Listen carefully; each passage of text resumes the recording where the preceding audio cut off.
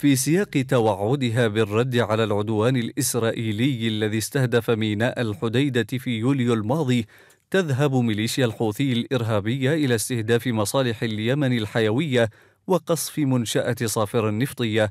ذلك ما يعكس النهج التدميري لميليشيا تتخذ من معركتها الاستدعائية المفتعلة مع إسرائيل ستارا للنيل من مقدرات اليمنيين وتعميق أعباء الأزمة الإنسانية الأسوأ عالميا. وتستثمر ميليشيا الحوثي الإرهابية كل تنازل من قبل الحكومة لضرب المزيد من البنية التحتية الاستراتيجية ضمن سياسات الإفقار العام وتعطيل كافة الموارد الإنتاجية ومصادر الدخل في الموازنة العامة للدولة.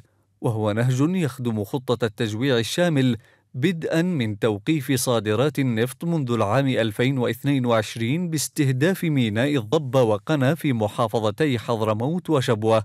وليس انتهاء بقصف منشأة صافر الأهم لولا جاهزية الردع واعتراض ثلاث طائرات شديدة التدمير كانت في طريقها إلى ضرب المنشأة بمأرب.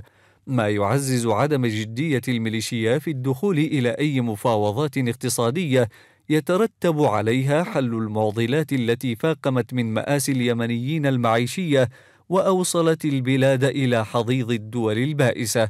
وما يؤكد أيضا أن السلام لن يتحقق إلا بالقضاء على الإرهاب الحوثي وأن الحسم العسكري قد يكون هو خيار المضطر في ظل التمادي الحوثي الأرعن لتدمير ما تبقى لليمن من مقومات وجود وحياة.